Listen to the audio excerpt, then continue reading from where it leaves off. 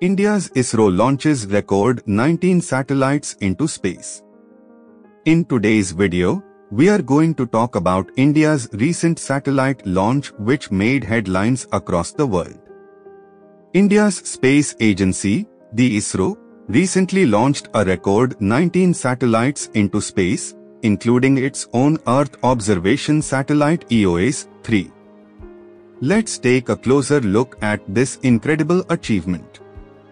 India's PSLV rocket successfully lifted off from the Sriharikota spaceport in Andhra Pradesh on 7 January 2022. The rocket carried 19 satellites, including 14 satellites from foreign countries such as the USA, Australia, and the Netherlands. This launch broke India's previous record of launching 10 satellites in a single mission. The EOS-3 satellite, which weighs around 1200 kilograms, was the main payload of the mission. It will be used for monitoring natural disasters, agriculture, forestry, and water resources. The satellite is equipped with modern imaging instruments that can capture images with a resolution of up to 70 centimeters. The successful launch is a significant milestone for India's space program which has been expanding rapidly in recent years. India has already established itself as a major player in the global space industry.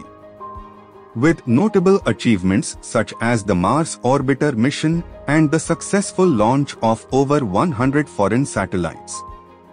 In conclusion, India's recent satellite launch is an impressive achievement that showcases the country's growing capabilities in the field of space technology. The launch not only strengthens India's position in the global space industry but also demonstrates the potential of space technology to address real-world challenges. We hope you found this video informative and enjoyed learning about India's latest space success. That's it for today's video. Don't forget to hit the like button and subscribe to our channel for more space and technology related content.